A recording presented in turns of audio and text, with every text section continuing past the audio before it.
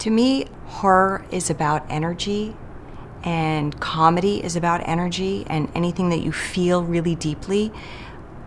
I love both of those genres. I tend to gravitate towards horror more, or people have cast me in parts that are horror more because I like to go to a deeper place. Hi, I'm Tal Zimerman. I'm the subject of a documentary called Why Horror.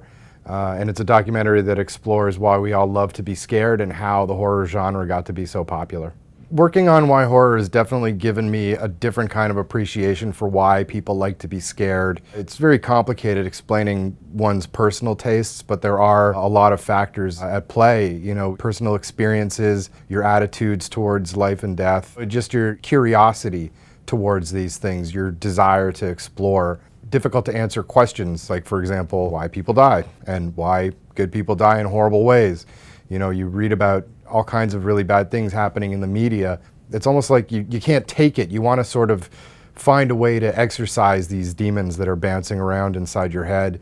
And a horror film is a really great way to kind of soothe yourself almost in a way, to sort of survive these experiences in a very controlled and creative manner it's a, a, safe fright when you're in, in a movie.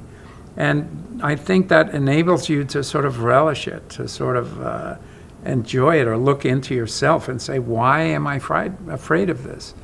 Uh, it's exploration. It's, it's like uh, a laugh. A laugh comes up from nowhere and you don't know why you laughed. And sometimes it's inappropriate. And sometimes it's, but then you wind up looking at yourself and saying, oh, why did I do that? And the same thing happens to me with horror. When talking to a, someone like a social psychologist, they are able to sort of place horror culture in a broader culture that it exists in. And it's been really fascinating hearing someone who's not necessarily part of the horror culture observe what it says about us as people. Horror films allow us to explore uh, terrifying scenes in a way that can provide us with some sort of mastery or at least the opportunity to approach it in a safer um, way. So, having a culture of horror film watching, in a way, is sort of like it's a halfway toward really experiencing raw terror, um, but not to the point where it like really messes you up and you can't go back into the comfortable illusions.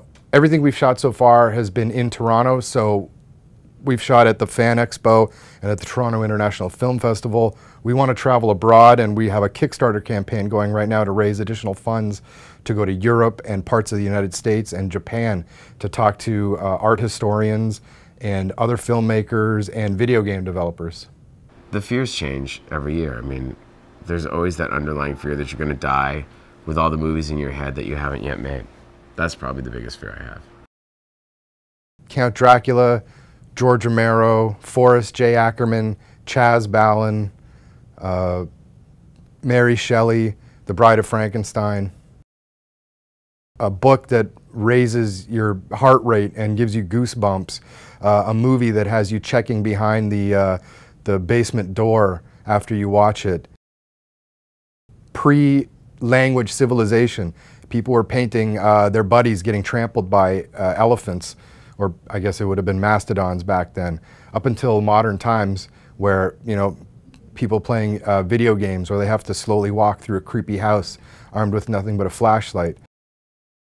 Horror is worldwide. There's great horror films coming out of Korea, out of Chile, out of Nigeria, out of every, every nook and cranny and crevice you can imagine. There's, there's horror seeping out of it.